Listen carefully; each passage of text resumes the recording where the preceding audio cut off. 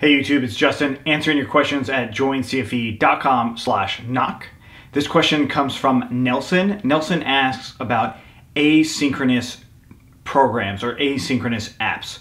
So what asynchronous apps do is they load in the background basically. So when you're when you're working on an app and you like press a button, sometimes if you're on a website, sometimes the page reloads, right? You can actually see the page reload. It goes away and then it comes back.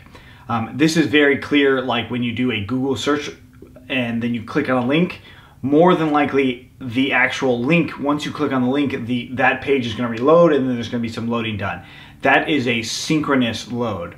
Asynchronous is much closer to like a YouTube subscribe. So if you click on YouTube subscribe, which I recommend you do, um, it actually runs asynchronously, right? It actually, you click on it and then something happens that you no longer see. It like the page doesn't reload, it just works just fine.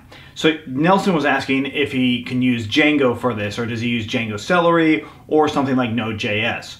Now, let's keep in mind that Django is a backend system right? So with it being a backend system, what you need to create is what's called a RESTful API. So once you have an API or something that the front end can work it with, it can work with the backend and it can work with that asynchronously or synchronously. It doesn't actually matter.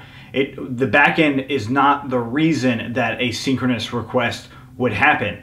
The synchronous request happens because of what happens on the front end, which in some cases Django does do synchronous requests. Sometimes by default, it doesn't necessarily do AJAX. So what you'd want to do with Django in particular is using Django and the Django REST framework to build a RESTful API service so you can do AJAX.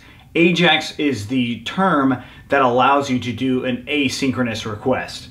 Um, so AJAX being um, JavaScript using JavaScript to actually run the request for you instead of the browser clicks or the standard HTML requests. Um, JavaScript actually handles that for you. So hopefully that answers your question, Nelson. Um, if you have more questions, please ask them at joincfe.com slash knock. Thanks for watching.